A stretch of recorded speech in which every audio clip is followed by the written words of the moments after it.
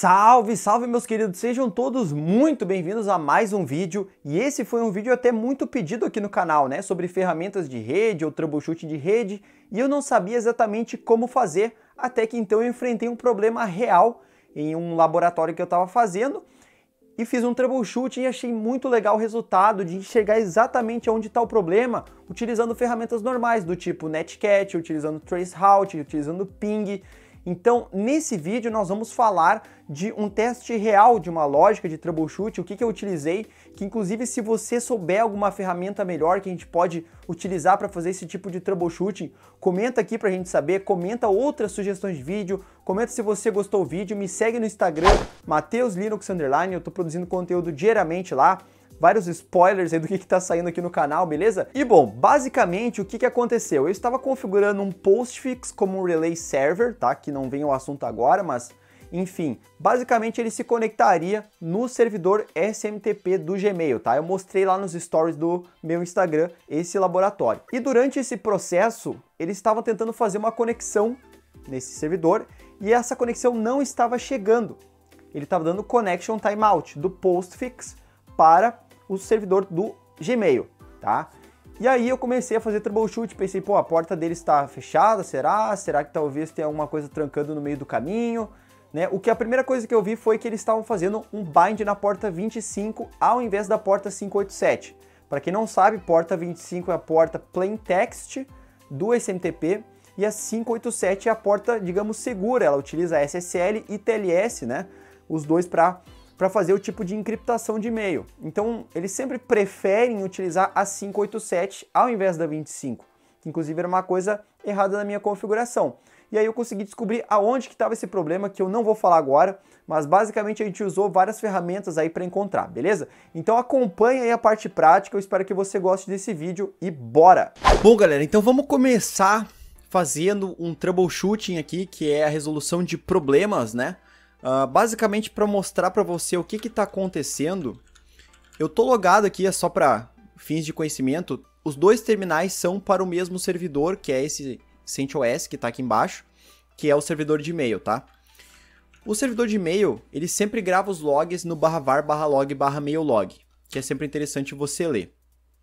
Se você olhar aqui em algum lugar, ele tem uma conexão, ó, connect to smtp.gmail.com tá? Pegou o e-mail do SMTP, 2.25. Então tá conectando a porta 25 do SMTP e tá dando um connection timeout.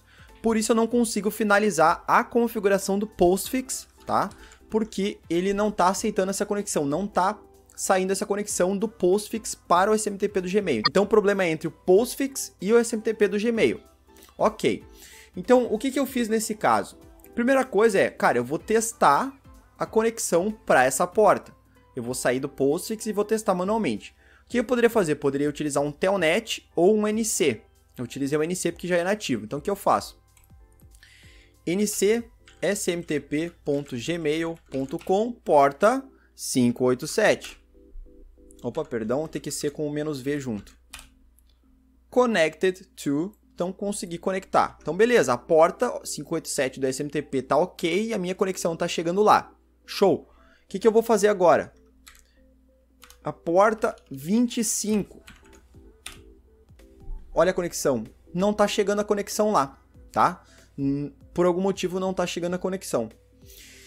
Então o que, que eu pensei? Ó, tá parando, eu sei que tá parando em algum caminho e certamente não deve ser o servidor do Gmail. Então é mais fácil ter dado um problema aí na rota da Vivo, que é a provedora que eu utilizo ou aqui em casa do que dar um problema no servidor do Google.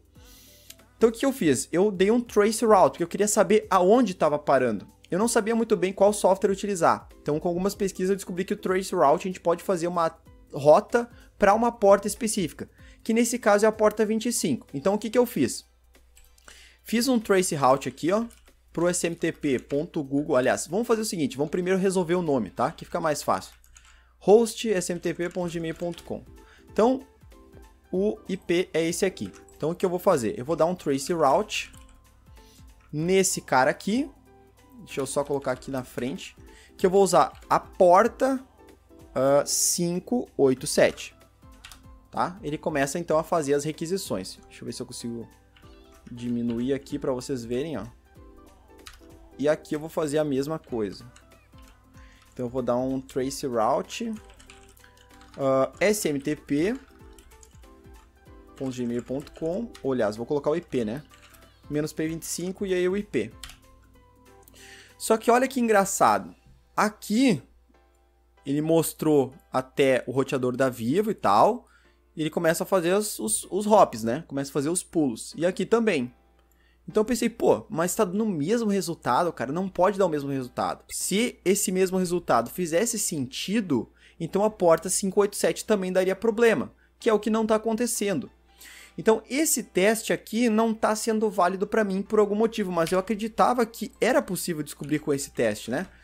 Então eu comecei a pesquisar, pô, cara, deve ter alguma coisa errada. Daí eu comecei a viajar, não, não consegui uh, parar e pensar muito bem uh, sobre o que, que poderia estar acontecendo. E aí, depois de algumas pesquisas, vendo aqui até o manual do Tracy Halt, ele tem uma parte aqui. Deixa eu ver.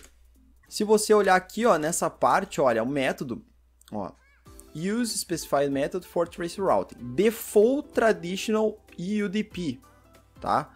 Então, a rota default do trace route, se eu não especificar um protocolo, ela é UDP. Olha que interessante. Ele não está fazendo por TCP por algum motivo, está fazendo UDP. Então o que, que eu fiz? Eu olhei aqui no Netcat, e pensei, será que eu tenho como especificar UDP? Sim, com o parâmetro menos "-u", eu consigo forçar ele a utilizar o UDP. Então o que eu fiz? Vou testar de novo. Lembra que o NC ele foi negado, ó, ele não conseguiu se conectar. O que, que eu fiz então? Eu botei aqui o mesmo NC, só que eu adicionei o menos "-u", que é de UDP. E aí eu consegui me conectar. Eu falei, cara, então o tráfego ele tá parando no TCP na porta 25 tá? Então, aí estava dando uma diferença que é interessante que vo vocês prestem atenção. O Trace Route, ele utiliza por padrão o UDP, né?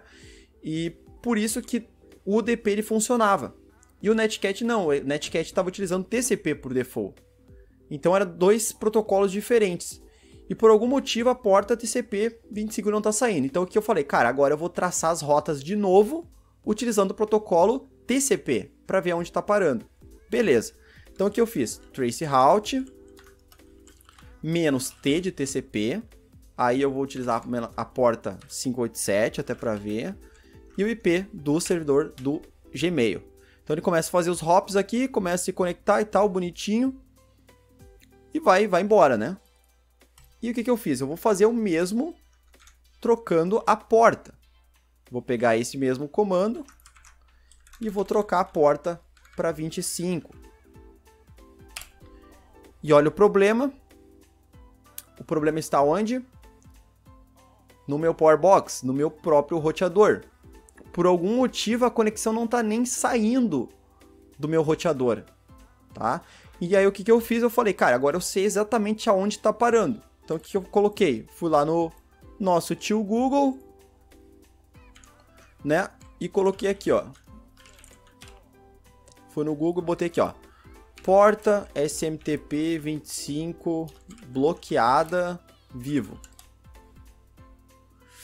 E aí, ele já abriu aqui um fórum, desbloqueio da porta 25. Então eu descobri que por padrão, não sei se é só a Vivo ou outros uh, Internet Service Providers, eles bloqueiam a porta 25 de saída. Então você não consegue, por exemplo, se conectar numa porta 25, tá? Uh, e a porta 587 funciona por quê? Porque a 587 ela utiliza encriptação, ela utiliza TLS. Então eu consigo me conectar ali. A, a Vivo entende que isso é uma coisa segura, é para segurança do usuário. Mas foi uma coisa muito interessante descobrir que apenas o TCP estava bloqueado, o UDP não estava bloqueado. E até entender que cada ferramenta utiliza um protocolo diferente, eu demorei um tempinho até pegar essa, essa, essa lógica. Quando eu fiz isso, eu pensei, cara, então tá aqui, eu vou tentar me conectar com o Netcat. Se funcionar, eu sei que uh, o protocolo é o TCP, e aí eu faço uma rota com o protocolo TCP. E aí eu encontrei esse problema, então. Se você olhar no outro, ele fez diversos hops para a porta 587 e chegou aqui no final. E esse aqui nem saiu do meu Powerbox, tá? Então eu espero que vocês tenham gostado desse vídeo, é um vídeo bem básico, utilizando ferramentas nativas, né, o Traceroute, Netcat e tal, poderia utilizar o Telnet também. Uh, comenta aí se você acha que tem alguma outra ferramenta que a gente poderia ter utilizado aqui, alguma coisa que facilitaria esse troubleshooting. Uh, que eu estou estudando bastante sobre isso, eu achei muito, muito legal. E querendo ou não, isso é um ambiente real, né? É uma coisa real que aconteceu aqui, que inclusive para resolver, né, para mostrar para vocês uma coisa interessante, ó. Eu sempre uso o tail-f para ele ficar lendo em tempo real. E aqui no postfix, ó, no postfix eu venho aqui em postfix main.cf e eu altero aqui o relay host para a porta 587, tá? E aí eu vou restartar o postfix. Restart postfix. Ó, começou a restartar. E aí eu vou fazer o envio de um e-mail, ó. Mail menos S, subject, vou mandar para quem? Vou mandar por forfasters arroba gmail. Vamos ver o que vai acontecer aqui. Vou digitar o e-mail, Ctrl D, vai trigar o envio do e-mail. Ó, vamos ver o que vai aparecer aqui para nós. Ó. Aqui ele abriu uma nova conexão, ó. Gmail, só que agora ele utilizou a porta 587, conectou normal então fez o envio de e-mail, que inclusive acabou de chegar aqui no meu celular o e-mail, ó. Não sei se vai aparecer aí para vocês. Mas apareceu ali, ó. Beleza? Uh, então, galera, se você gostou desse vídeo, deixe seu like, deixe seu comentário, comente aí uma sugestão de vídeo, compartilhe com seus amigos, ative o sininho, participe das redes sociais e é isso aí, galera. Um grande abraço e valeu!